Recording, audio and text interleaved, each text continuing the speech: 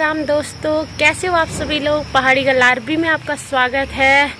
तो जैसे कि आप सभी को पता है, मैं पहुँच चुकी हूँ दून, देहरादून, यानी कि अपने दीदी के घर। तो पहले तो आप आज यहाँ का मौसम देख लीजिए। तो देखिए दोस्तों, आज देहरादून का जो मौसम है, वो बहुत ही सुंदर और बहुत ही प्यारा मौसम हो रखा है आज। तो मेरी दीदी के घर से कुछ इस तरीके से देहरादून दिखता है। और बहुत ही सुंदर प्यारा प्यारा मौसम हो रखा है। ऐसे मौसम में मैं और साहिल जा रहे हैं घूमने के लिए। देहरादून में हम कहाँ कहाँ घूमने जाते हैं, ये तो मुझे भी नहीं पता, क्योंकि वो मेरे को लेके जाएगा, आज पूरा देहरादून वो घुमाएगा। तो वीडियो में बने रहें, बहुत मज़ा आने वाला है। तो चलिए चलते हैं, और मैं फटाफट से पहले तैयार हो जाती हूँ। फिर चलते हैं घूमने के लिए। दोस्तों हम लोग तैयार हो चुके हैं और अब हम निकल रहे हैं अपने सफ़र की तरफ़। तो वीडियो में बने रहें। सो so, जीजाजी दीदी और साहिल और ये है प्यारा सा सिया। सिया? सिया?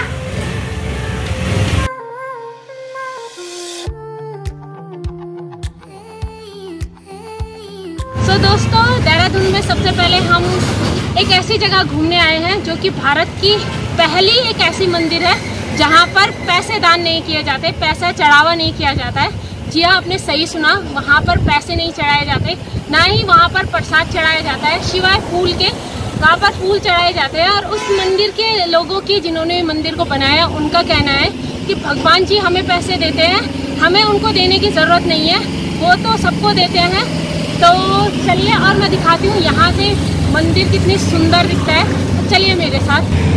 तो ये है वो मंदिर, शिव मंदिर, और भक्तों का यहाँ पर बहुत आना जाना लगा रहता है। तो दोस्तों, ये जो मंदिर है, ये है देहरादून से कुछ किलोमीटर आगे मसूरी रोड पे आपके ये मंदिर मिल जाएगा, और यहाँ पर भक्तों का आना जाना लगा रहता है। तो चलिए आप भी मेरे साथ और मंदिर के दर्शन करिए, और मंदिर में चलते हैं, भोलेनाथ जी के दर्शन करते हैं। तो चलिए। सामने ही हमें जूते चप्पल रखने का काउंटर मिल जाता है, जिसका कोई भी चार्ज नहीं है। और सामने ही नल मिल जाता है, जहाँ पर हम अपने हाथ पैर धोए। तो साहिल ने अपने हाथ पैर धो लिए थे और फिर मैंने भी अपने हाथ पैर धोए।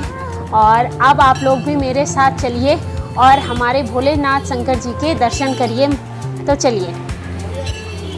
यहाँ पर दोस्तों भक्तों का आना जाना लगा रहता है और जैसे कि मैंने आप सभी को पहले भी बताया अपने वीडियो में कि यहाँ पर पैसे चढ़ाना मना है, जो कि आप लोगों को दिख रहा होगा बड़े बड़े बोर्ड में साफ़ साफ़ लिखा हुआ है कि पैसे चढ़ाना मना है और यहाँ पर लोग सभी जल अर्पित कर रहे थे भोलेनाथ जी को। तो हमने सोचा, हम भी मंदिर में जा रखे हैं तो हम भी शिवलिंग में जल अर्पित करें। तो साहिल ने कर लिया था और फिर उसके बाद मेरी बारी आई तो फिर मैंने भी जल अर्पित किया। और दोस्तों, वीडियो को लाइक, शेयर, कमेंट ज़रूर करें। कमेंट में हर हर महादेव सभी लिखें। और वीडियो को जितना हो सके उतना शेयर करें। और अगर आप देहरादून में हो या देहरादून जा रहे हो तो इस मंदिर में ज़रूर जाए। यहाँ पर जाकर आपको बहुत शांति मिलेगी। तो चलिए मेरे साथ और मंदिर के दर्शन करते हैं। हमारे भोलेनाथ जी के दर्शन करते हैं।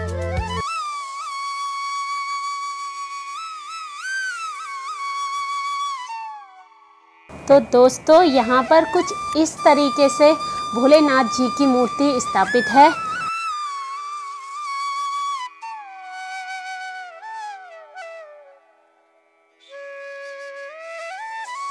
और साथ में ही यहाँ पर अंकल जी प्रसाद दे रहे थे सबको।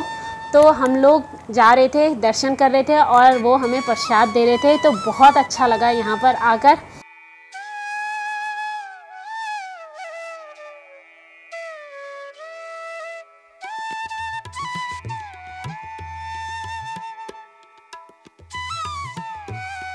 और पास में यहाँ पर एक मार्केट है।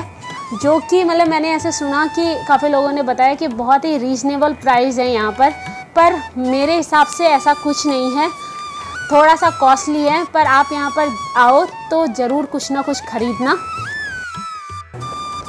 और अगर आपको वीडियो अच्छी लग रही है तो जल्दी से वीडियो को लाइक शेयर और कमेंट कर दीजिए।